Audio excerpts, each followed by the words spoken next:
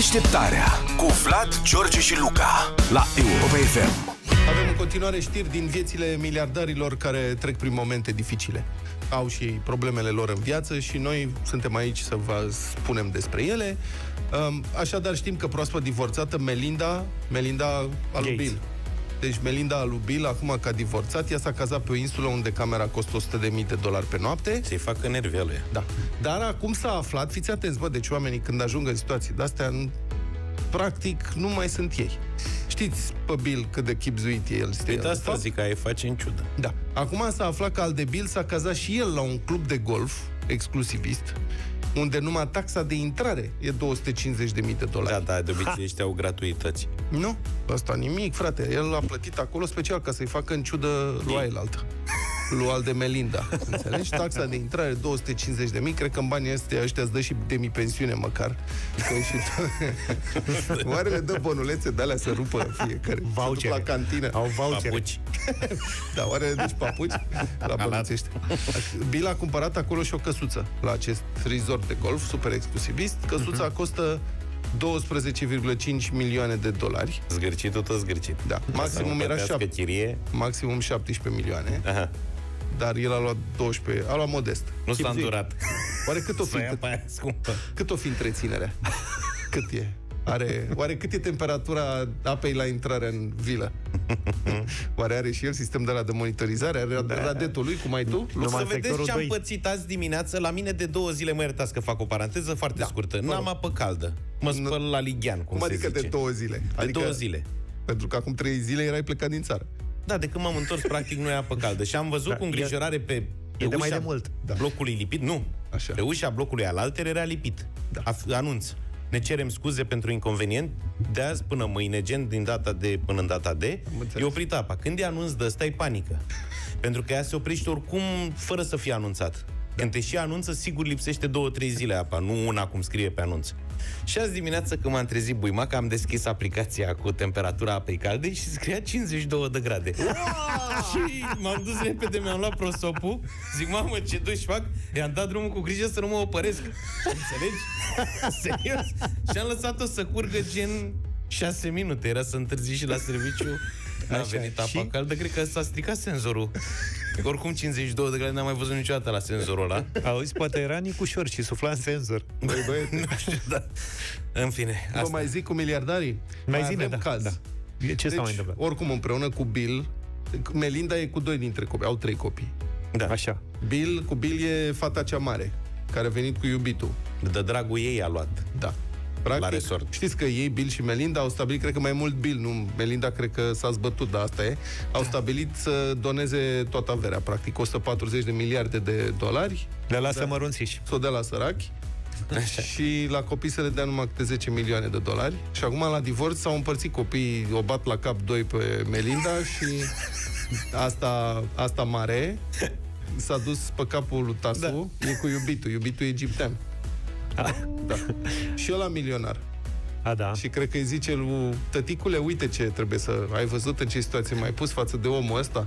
Încrapă obrazul de rușine. Adică el, eu n-aduc... Care-i zestrea mea aici? Corect. 10 milioane. Alt miliardar divorțat, cel mai miliardar dintre toți, Jeff Bezos, șeful de la Amazon, da. patronul Amazon, și dânsul a divorțat, a împărțit averea în jumate și ca atare acum a rămas cel mai bogat, bogat om din lume, dar mai puțin bogat ca înainte. Adică anul trecut n-a făcut decât 73 de miliarde de dolari net. După plata taxelor. Băi, A rămas cu 7, 75, mă scuzați. Dar acum m, o mică eroare, 73-75 de miliarde. Deci, dâns, oare unde îi ține, mă? Crezi că unde e? Cred că are o bancă a lui. Da. Uh, a cumpărat, își cumpără un iaht, cel mai mare iaht, super iaht dintre toate iahturile. Roman Abramovici este la Pitici. Își ia un iaht de 127 de metri. Este atât de mare încât iahtul ăsta are nevoie de un iaht mai mic pentru elicopter. Deci vine cu un pui de iaht. Nu cred. Ba da. Îl trage după el? da. Carațele Deci cum pe lac? Da, își cumpără unii, își cumpără aia care au milionarii noștri, își cumpără iaht și vine cu dinghi. Cu o bărcuță de aia, mă rog, gonflabilă, cum Da. ar veni, ca să se ducă cu ea la mal. Da. Ăsta are... Iaht, dinghiul lui este un iaht, care Mai are mic, și heliport. deci, oamenii sunt total nebuni, pe cuvântul meu. Dar să știți că am văzut odată o scenă de un ridicol total, în urmă cu... Nu, mai... Zafă spune Da, că trebuie să spuneți, vă termin. Nu termin nimic, mai vreau să povestesc Ia, asta. uite, Hai ia să să până povestești. în știri, frate. Fii Da, atent. hai. Deci, în urmă cu mulți ani, împreună cu niște prieteni, printre care și Mile Săracu, Dumnezeu să-l odihnească, am ajuns prin fosta Iugoslavie. Și în Muntenegru ne-am oprit și noi la o cârciumă pe malul unui golf. Golf foarte frumos acolo, golful Cotor, mă rog. Și în timp ce mâncam și noi o ciorbă pe malul apei, la o masă de mai încolo, era, în mod, era o gașcă de ruși. În mod clar plin de bani. Un rus șef, care în jurul lui gravitau vreo trei gagici, vreo șapte copii, nu știu câți uh, țuțări pe lângă el și ăia mâncaseră, practic, cum- cumpărau, mâncau toată cârciuma. Nu mai, chelnerii nu mai aveau treabă decât cu ăia, noi voia și noi acolo. O plescavița nu prea ne băga nimeni în seamă. Și în timp ce noi ne uitam și noi la ei, în golf pe fundal apare un iaht. Un iaht mare, să apreciez. Cred că avea vreo 40 de metri, să zicem așa, care pâr, pâr, pâr, pâr, pâr s-a oprit până, în jumătatea, până la jumătatea apei și din spate s-a deschis ușa garajului de la ea, cum ar veni, și a ieșit un dinghy mai mărișor, așa, cu capitan.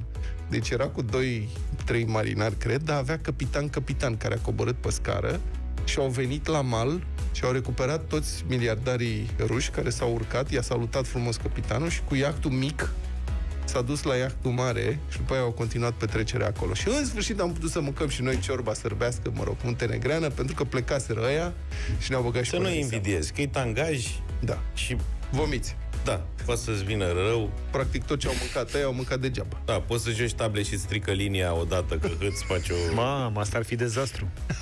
Nu, spun că nu e nicio filozofie. Nu, și cât consumă, Consumă de rupe. consumă rupe. Asta e, oricum e bogații lumii par nebuniți să-și cumpere iahturi. Ăsta a costat jumătate de miliard de euro al lui Jeff Bezos și un uh, analist declară pentru Bloomberg, citat și de businessinsider.com, că vânzările de super iahturi au depășit orice recorduri. Producătorii de-abia fac față cererii. E imposibil să găsești un loc într-un șantier naval să rezervate complet. Deci, practic, cum era în România pe vremea lui Ceaușescu cu daciile. Da. Când te înscriai și așteptai șapte ani la Dacia, așa e cu iahturile astea. Acum e nenorocire, frate, ce bătaie de joc. Deșteptarea cu Vlad, George și Luca la Europa FM.